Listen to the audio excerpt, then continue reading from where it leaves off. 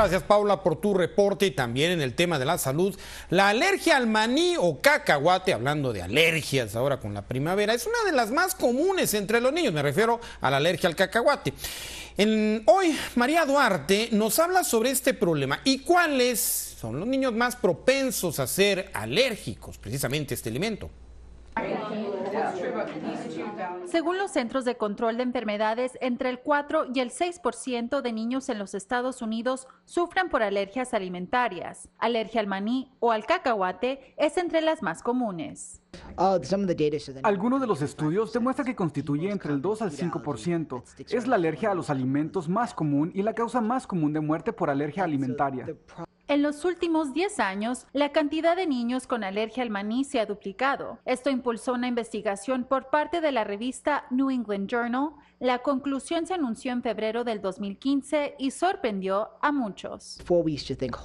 Antes pensábamos que evitar el maní podría prevenir la alergia, pero ahora este artículo dice que el evitar el maní les puede hacer daño y que el darle pequeñas cantidades de maní como en galletas puede disminuir la cantidad de alergias a este alimento en el futuro.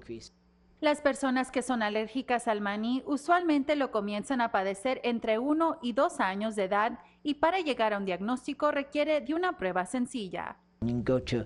Puedes ir con un alergista y es un examen de piel que se tarda unos 5 a 10 minutos. Y si la piel se pone roja y le pica al niño, entonces tiene alergias. Eso y sus antecedentes ayudan a determinar si tiene una alergia al maní. El doctor Chaco dice que hasta el momento las alergias alimentarias no son comunes entre latinos en comparación a comunidades blancas o afroamericanas, pero esto puede ir cambiando entre más latinos nazcan y crezcan en los Estados Unidos.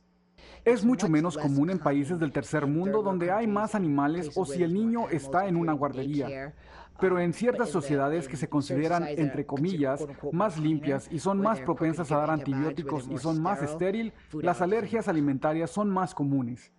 Para aprender más sobre la alergia al maní u otro tipo de alimentos, visite redalergiasyasma.org para información en español. Reportando para Noticiero Telemundo Atlanta, María Duarte. Sintoniza Telemundo Atlanta por antena digital Comcast Dish y por ATT Ubers.